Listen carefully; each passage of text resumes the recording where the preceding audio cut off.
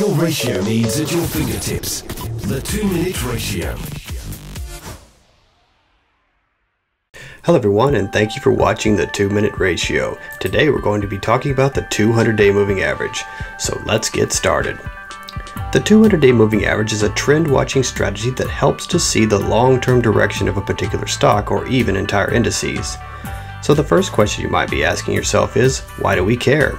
Well, let's say you have two companies that you're looking to invest in. We're going to call them mychair.com and myseat.com. You want to figure out which company is trending upwards so that you can buy that stock. MyChair.com has a stock price of $40.40 and MySeat.com has a stock price of $56.93. Is MySeat.com above the 200 day moving average? We don't know yet, not until we add the 200 day moving average to our stock price.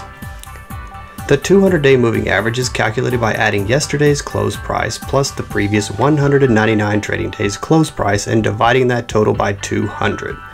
So let's take a look at mychair.com first. The blue line on chart A is the stock price for mychair.com and it currently is at $40.40. The red line represents the 200 day moving average for mychair.com and is currently at $45.48. This indicates that mychair.com is currently below the 200 day moving average. Now let's take a look at myseat.com on chart B.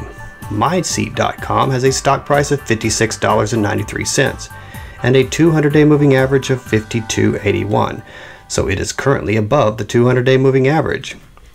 MySeat.com is above the 200 day moving average and therefore the stock that is currently in consideration for purchase. This concludes the 200 day moving average video. Don't forget to subscribe and thank you for watching. 2 minute ratio.